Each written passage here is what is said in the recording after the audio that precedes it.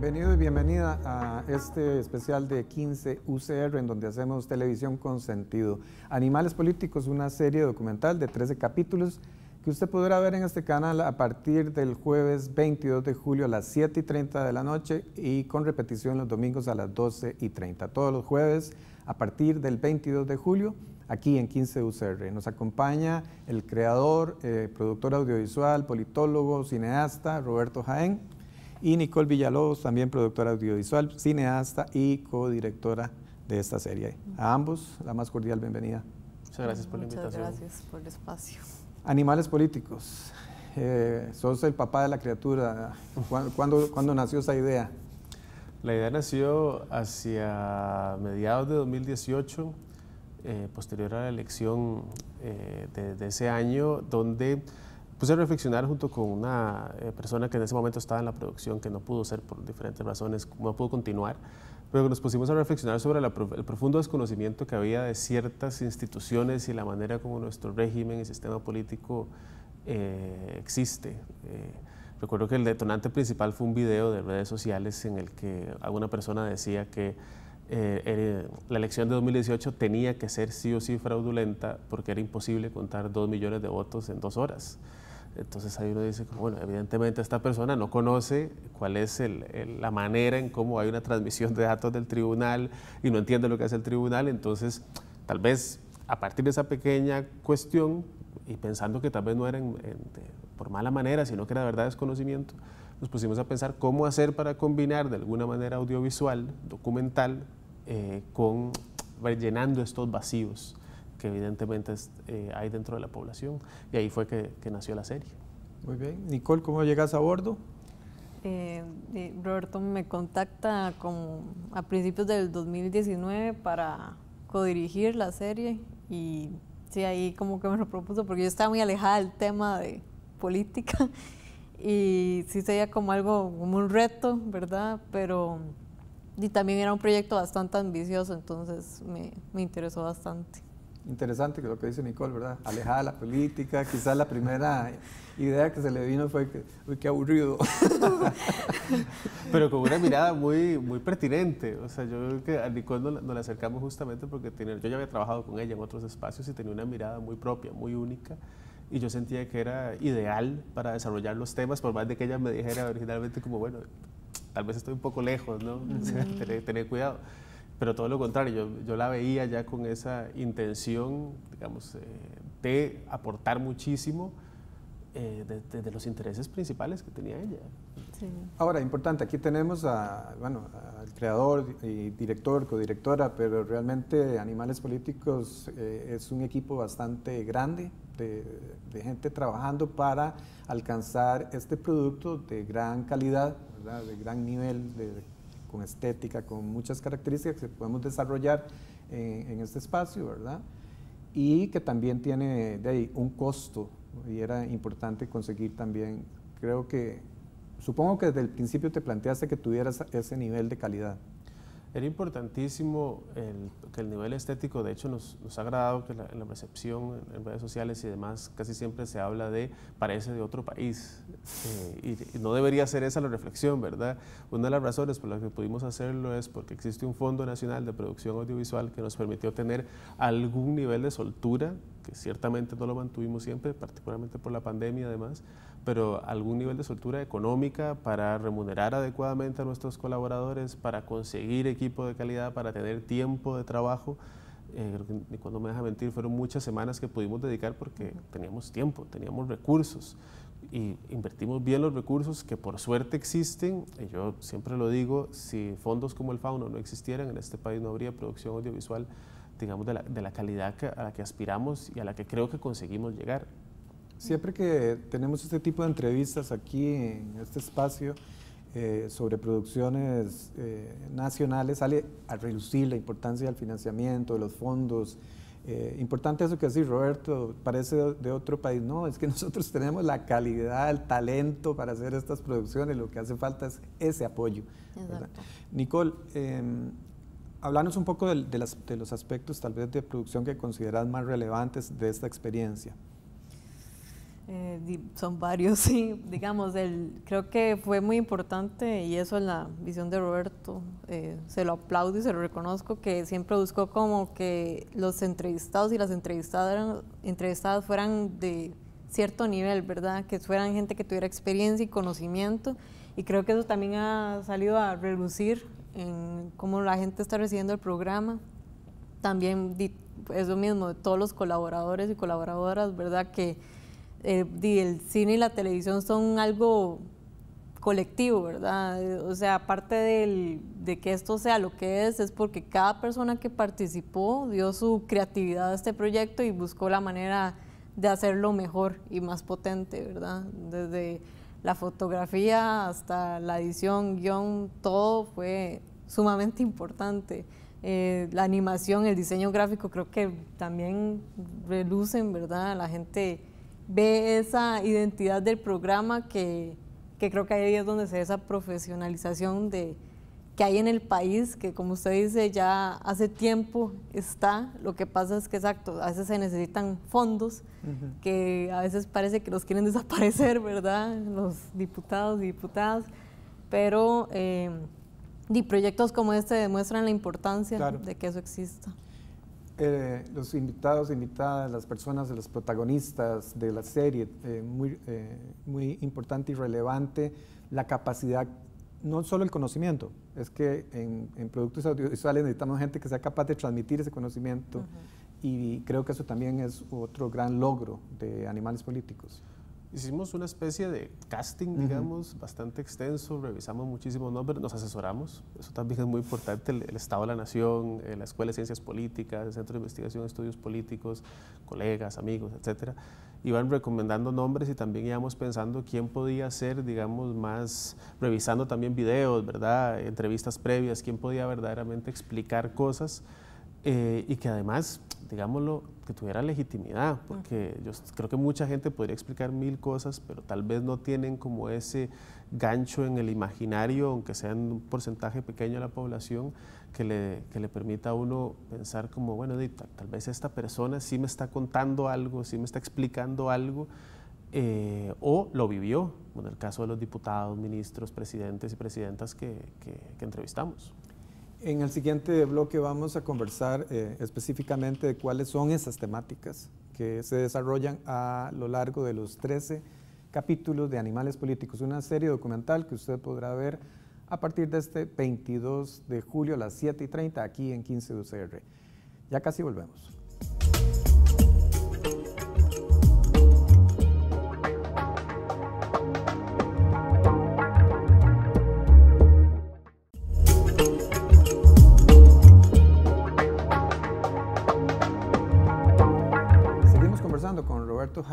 Nicole Villalobos, director y codirectora de la serie Animales Políticos. Eh, hablemos del, contenido. Eh, ¿qué, se desarrolla a lo largo de esos 13 capítulos? Vimos el, eh, vemos en el piloto una, un dibujo general y posteriormente en los capítulos subsiguientes se van desarrollando temas. Nicola, hablamos de algunos de, esos temas. bueno, tenemos el tema de la ingobernabilidad, ¿verdad?, del sistema político para cuestionarnos y dialogar si es el que necesitamos en ese momento.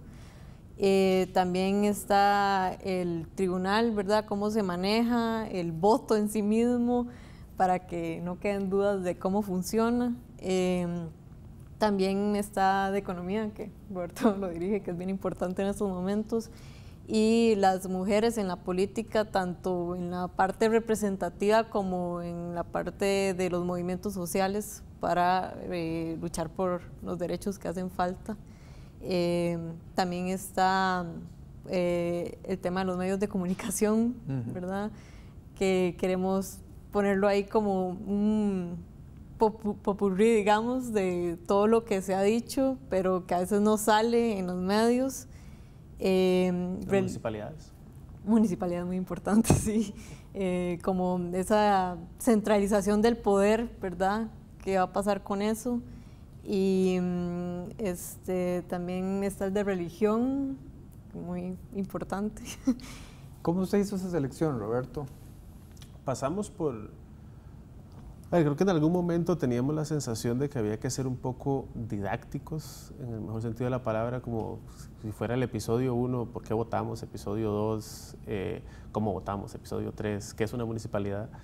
Y, en, en, el camino nos fuimos dando cuenta que posiblemente algo tan didáctico tuviera o, ya existía, hay instituciones autónomas que han hecho videos de cómo funcionan o, la propia asamblea ha hecho cosas, o podía ser relativamente aburrido. Entonces empezamos más bien a desagregar esas grandes temas, más bien agregar esas grandes temáticas a través de algo que las cobijara enteras. Pues, por ejemplo, Nicole decía, la ingobernabilidad es un tema. Entonces decía, bueno, tal vez la manera de tratarlo sea el sistema presidencialista. Entonces, juntar esas dos cosas para tratar de hacer un episodio que habla de gobernabilidad, pero que a la vez cuestiona un poco el presidencialismo.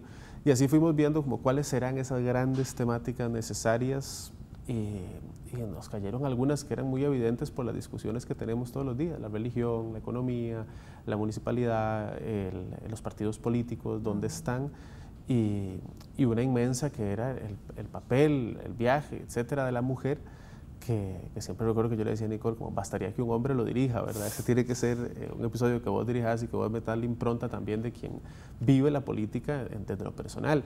Y así fue como fuimos construyendo, digamos, temáticas muy generales, pero que a la vez agregaban las cositas pequeñas que queríamos explicar. Dijiste que, que, una cosa que te había inspirado era un video, eh, eh, bueno, sí, algo en redes sociales en donde alguien manifestaba que lo las elecciones deberían haber sido un fraude porque no había manera de contar esa cantidad de votos. Y que eso te movió a pensar que había un gran desconocimiento de cómo funcionan las cosas en, en las instituciones, en el ámbito político. Pero les pasó a ustedes quizás también que eh, a lo largo del desarrollo de todas estas temáticas y estos tres episodios, ustedes mismos se dieron cuenta de que había muchas cosas que no sabían cómo funcionaban y que les sorprendiera. Eh, y eso al, mismo tiempo lo hace uno ver el gran desconocimiento que tenemos como ciudadanos de cómo funcionan las cosas en el ámbito político, ¿no? ¿Les pasó? Sí, claro. este, bueno, inclusive en este del presidencialismo, creo que todos y todas tendemos a poner la responsabilidad de una sola persona, que en realidad esa persona no tiene tanta responsabilidad que es del presidente o la presidenta, ¿verdad? Y eso le sirve mucho a otras personas para quitarse la responsabilidad más bien, ¿verdad? Ante el público, ¿verdad? Entonces ese fue uno para mí muy como... Revelador. Sí, revelador y como también el mismo hecho de las entrevistas con personas que han estado en esa posición, no es lo mismo hablar con el teórico que con alguien que ya estuvo ahí. Entonces eso también como que me abrió el panorama, ¿verdad? como esa empatía, ¿verdad? Que no, no es que se les quite responsabilidad, sino como poder entender cómo funciona para ver quién es el que tiene la responsabilidad, ¿verdad? Sí, ese, ese, ese tema que menciona Nicole de la gobernabilidad, de, de, la responsabilidad, y no solo la responsabilidad, sino las expectativas. O sea, eh, ponemos todas las expectativas en un hombre o una mujer que vaya a ser el presidente o presidenta del país y que vaya supuestamente a resolver todos los problemas. Y en este episodio nos daremos cuenta de que no es tan así, Roberto no, no, solo no es tan así, sino que también nos genera una profunda disconformidad y decepción permanente. O sea, siempre estamos pensando que está saliendo todo mal, eh, siempre estamos en esta idea de, me acuerdo que algún día hablaba con Nicole como, eh, estamos en crisis siempre, en, todos los, en todos los estamentos políticos, institucionales, económicos, siempre estamos en crisis, nunca hemos salido de la crisis. Y en el episodio de economía hablamos un poco de eso, ¿verdad? Que aunque haya momentos en que el país esté mejor, siempre estamos en crisis. y, tendemos a entonces pensar que todo, todo se resuelve muy fácil o que una persona simplemente es la que está siendo incapaz de resolverlo. Y en el primer episodio, en, el piloto, también hay una reflexión importante que es sobre eh, cómo esas expectativas crean fracturas democráticas también porque dejamos de confiar. Y, al mismo tiempo tenemos que desconfiar más bien de otra gente. Yo siempre digo, yo, yo, desconfío más bien de la gente que me dice, esto se resuelve fácil, a ese no le creo absolutamente nada. Sí, y, y por ejemplo, qué sé yo, eh, la gran responsabilidad que tienen en la Asamblea Legislativa los diputados y las diputadas de aprobar eh, leyes que al final son las que definen las políticas. Y resulta que, que a pesar de que la responsabilidad está ahí, siempre decimos es culpa del presidente. Tal cual. Y no solo eso, sino que además, creo que en el episodio de presidencialismo se ve muy bien hay, eh, Estefan Gómez del Estado de la Nación habla de una cebolla. Eh, es complicado, inclusive si cambiáramos el presidencialismo por alguna forma de semipresidencialismo, no cambiaríamos mucho como ese diseño general. Don, Jorge Vargas también lo dice como una torta chilena. O sea, esos pedazos de, nuestro régimen y sistema político, aunque cambiáramos mil cosas que quiere la gente y piensa que así ya lo resolvemos todo, tampoco. Muy probablemente seguiríamos igual. Mismos problemas. Ahora, ¿cómo todas estas temáticas, todos esos temas que estamos abordando aquí eh, por encimita, ¿verdad? ¿Cómo, ¿Cómo les entramos en profundidad? ¿Cómo los presentamos al público un producto audiovisual que enseñe, que eduque, pero que al mismo tiempo sea entretenido, sea potable? De eso vamos a hablar en el tercer bloque, en donde discutamos un poco eh, más los aspectos que, que hacen de esta serie de Animales Políticos una serie prácticamente única en el país en esta temática de la política y cómo funcionan nuestras instituciones. Por eso le invito a que se quede para que vea el tercer bloque de Animales Políticos aquí en especiales 15 UCR. Ya casi volvemos.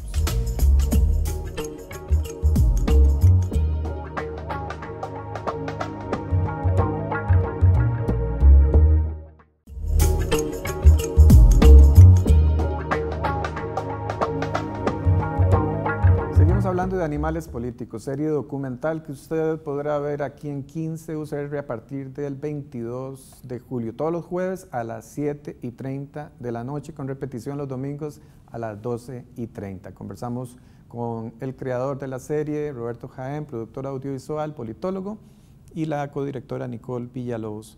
Y en este tercer bloque nos íbamos a adentrar en aspectos... Eh, técnicos, digámosle así, o, formales de la producción, que al final la hacen tan diferente y que hacen que la gente exprese ese producto no es de aquí.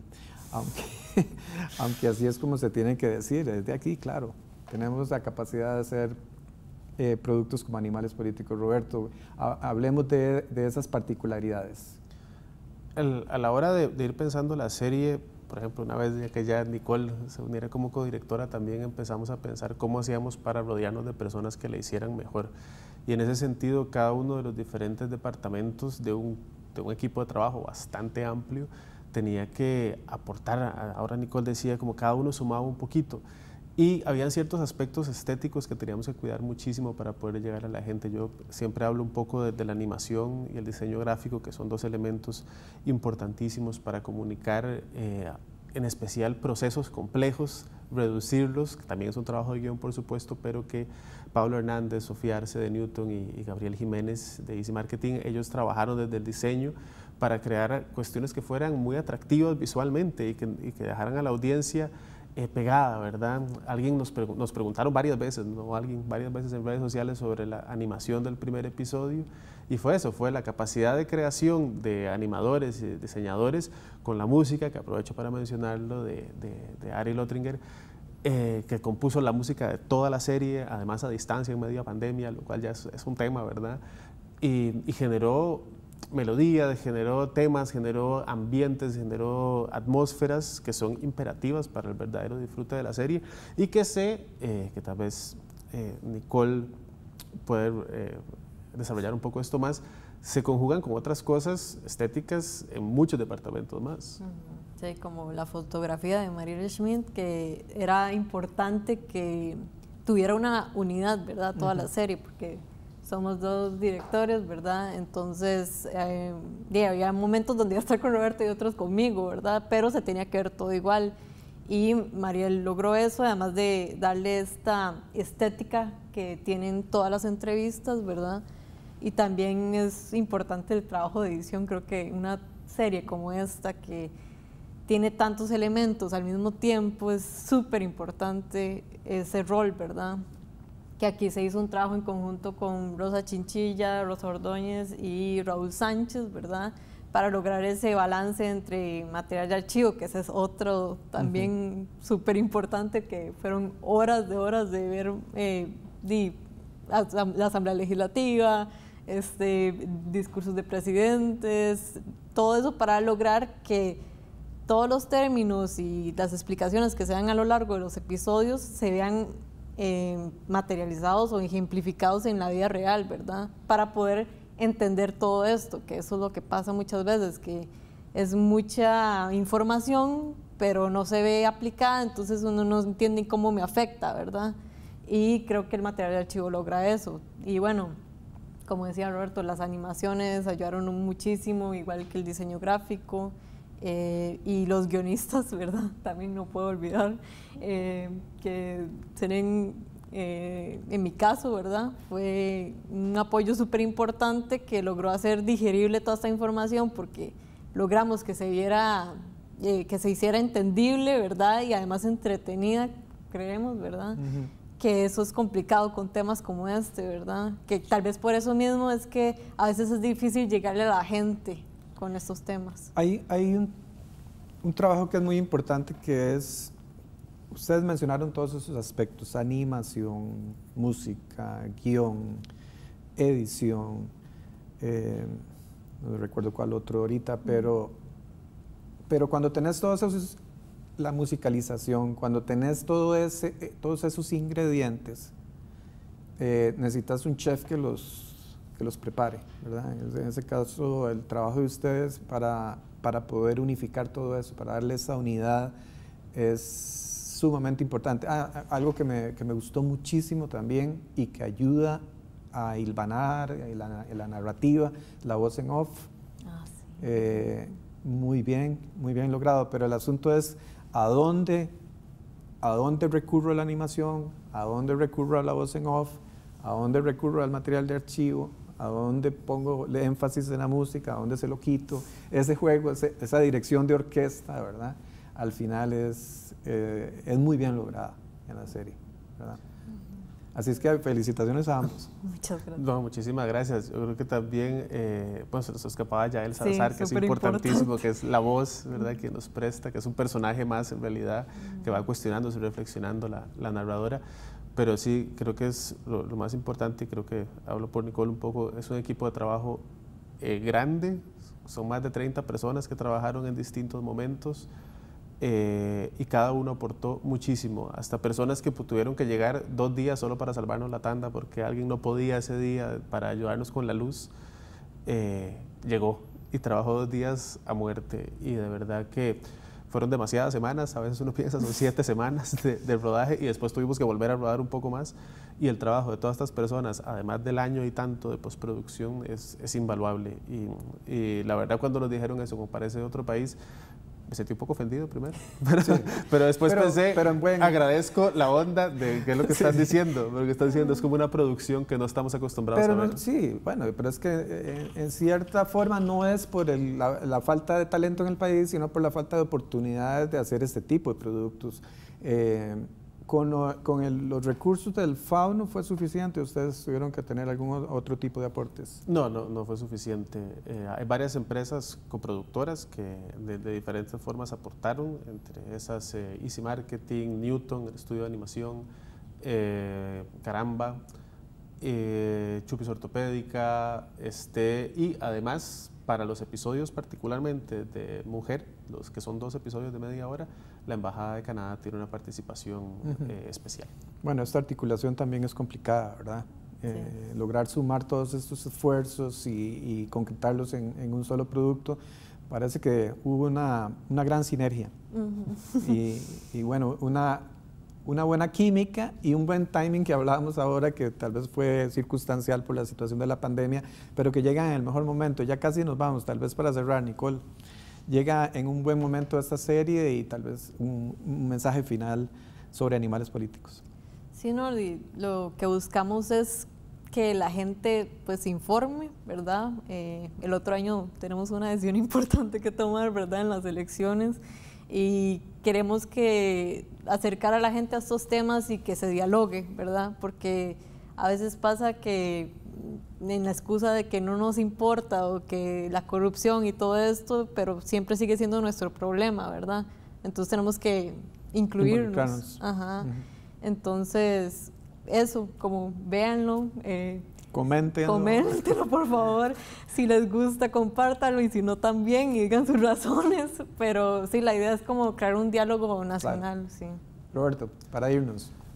Yo creo que nosotros no tenemos eh, muchas más intenciones que no sean esas, que generar un diálogo. No ofrecemos ninguna respuesta, ofrecemos muchísimas preguntas, ofrecemos muchísimas opciones, la opinión de muchísima gente que tiene muchísima legitimidad. No creo que eh, cuando la gente ve el programa no tiene que pensar que estamos eh, tratando de decirle es por acá, más bien estamos diciéndole vea todo lo que hay que pensar, todo este tapiz de ideas, opciones, reflexiones, ideologías con las que tenemos que convivir, convivir y principalmente y nos, nos, toca un poco conversar. Si, si, no aprendemos a conversar y a no tratar todo, como, o sea, si seguimos tratando la política como un partido de fútbol, con fanatismos, hinchadas y demás, no vamos a llegar absolutamente a ningún lado. Muchísimas gracias, Roberto, Nicole. Eh, y invitarlos a ustedes para que no se pierdan ninguno de los episodios, de los 13 episodios de Animales Políticos que arranca aquí en 15 UCR a partir del jueves 22 de julio a las 7 y 30 de la noche, repetición los domingos a las 12 y 30. Quédese con la programación de 15 UCR en donde trabajamos para hacer televisión con sentido.